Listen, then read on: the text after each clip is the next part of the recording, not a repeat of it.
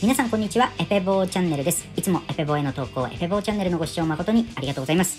さて、今回もね、新規初投稿のボード、大阪府堺市28歳、ペッパーさんからのね、ギター用のスイッチャーボード、投稿いただきました。誠にありがとうございます。今回ね、また注目ポイントいくつかありますけれどもね、まずスイッチャーから伸びているね、パッチケーブル、えーパンケーキ型と呼ばれるですね、えー非常に薄型、えー小スペースタイプのですね、えパッチケーブルでね、ブランド統一されていてね、え全体俯瞰してみるととっても綺麗ですよね。こちら参考なさっていただきたいと思います。えそれからね、モジュレーション系ですね、えー、ズームのマルチにね、え1台、えお任せしているというところもね、えこれもね、とっても上手な使い方だなというふうに思います。えそしてそれ以外はですね、 PolyTune 3以外はですね、チューナー以外はですね、全部歪みということでですね、その中でもね、えーアメリカは、えーポートランド州のですね、えー Catalinbread というブランドのですね、ブースターとオーバードライブ。こちらね、なかなかお店で見る機会もないと思いますのでね、またエフェボでもあまり事例がないのでね、えーぜひとも皆様方、えー注目なさっていただきたいブランドでございます。そして最後になりますけどもね、先日もピンクさんのね、新規初投稿に、えー搭載されていた VAR8 というですね、えー充電タイプの、えー Vital Audio 製のですね、えパワーサプライ、えーフルアイソレートになっておりますのでね、えーノイズにも強いタイプですけれどもね、なんといっても、えー充電タイプということで AC アダプターがいらないということでですね、充電しておけばですね、えー持ち運びに便利ですのでね、ですね充電タイプの、えーパワーサプライにも注目なさっていただきたいと思います。こ